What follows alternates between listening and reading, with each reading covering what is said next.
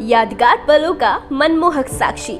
नवयुगल की नई और पहली choice best venue for every occasion destination wedding elegant design and expressive decor experience with luxury La Flora Garh road Meerut Uttar Pradesh के तमाम जिलों में जीएसटी विभाग छापेमारी की कार्रवाई को अंजाम दे रहा है। व्यापारी अपनी दुकानें बंद कर लामबंद होकर सड़कों पर विरोध कर रहे हैं। इसको लेकर उत्तर प्रदेश व्यापारी कल्याण बोर्ड के उपाध्यक्ष पुष्पदंत जैन ने सीएम योगी से मुलाकात की है। उन्होंने कहा कि मुख्यमंत्री ने हमें आश्वस्त किया कि किसी भी व्यापारी के साथ गलत नहीं होने दिया जाएगा। चालीस लाख तक के टर्नओवर पर कोई टैक्स नहीं लिया जाएगा। अगर 40 लाख से ऊपर का टर्नओवर करते हैं तो उस पर टैक्स देना लाजमी होगा। इस विवाद की जड़ तक जाने के लिए हमारी संवाददाता पहुँची मेरठ के एडिशनल कमिश्नर महेंद्र प्रताप सिंह के पास। देखिए, उनसे मिली जानकारी। बीते दिनों जीएसटी को लेकर काफ़ी विवाद चल रहा है। इसी के लिए आज हम आए हैं एडिशनल कमिश्नर महेंद्र प्रताप सिंह के पास। सो सर ये जो विवाद चल रहा है जीएसटी को लेकर क्यों चल रहा है? ये पूरे उत्तर प्रदेश में देखा जा सकता है, काफ़ी विवाद हो रहा है। ये कोई विवाद नहीं है, ये शासन और मुख्यालय के निर्देश के अनुसार जो व्यापारी पंजीयन सीमा के अंदर उनको ले आना है, इसी संबंध में कार्रवाई की गई है। जो पंजीयन योग्य है, उनको पंजीयन कराएँगे और जो पंजीयन योग्य नहीं, उनके खिलाफ कोई कार्रवाई नहीं हो रही है।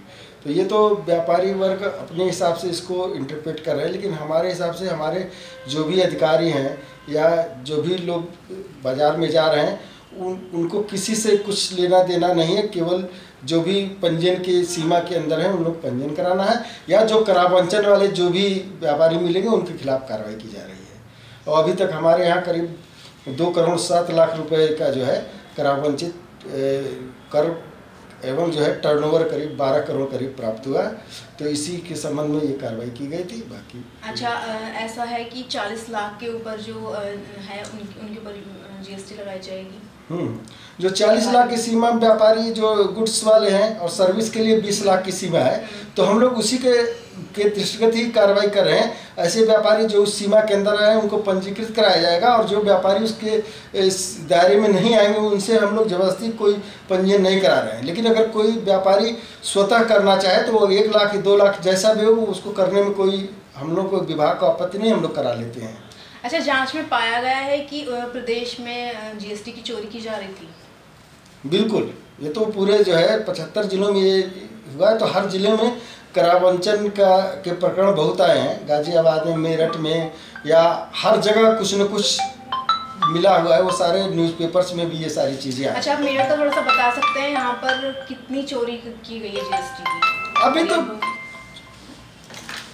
अभी तक जो है अभी तक मेरठ में जो है, हम लोग तो पंजीयन के हिसाब से इसको देख रहे थे तो इसलिए करावंचन बहुत ज़्यादा, लेकिन इस बीच में जो भी करावंचन वाले व्यापारी मिल रहे हैं, उनसे अभी तक हम लोगों ने करीब साढ़े बारह करोड़ पर जो है, दो करोड़ सात लाख रुपए का जो है, करावंचित टैक्स हमको मिला हुआ है, उस पर हम लोग कार्रवाई करवा रहे हैं, और करीब सत्रह लाख रुपए हम लोगों ने जमा कराए इस अभियान के बीच में।